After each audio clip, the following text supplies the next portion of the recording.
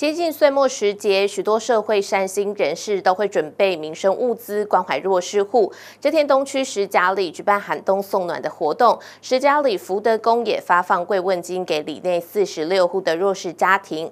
里长说，今年的物资捐赠是最丰富的一次，一户可以拿六袋物资，实在是很澎湃，希望他们感受到社会满满温暖。大家将物资集中在公庙门口，准备发放给里内弱势户。东区石甲里每年都会举办寒冬送暖活动，由当地里长和土地公庙一起募集物资，来帮助里内的弱势家庭。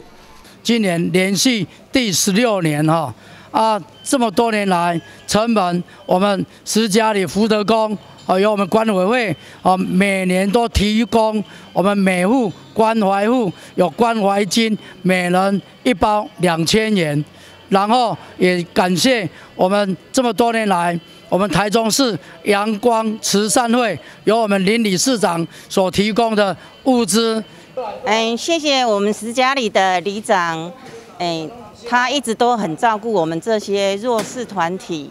然后今年的物资又增加特别的多。石家里寒冬送暖活动连续举办十六年，不因疫情而停止。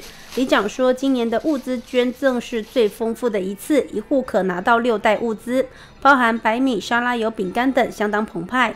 公所表示感谢地方士绅慷慨解囊，让弱势户感受到社会温暖。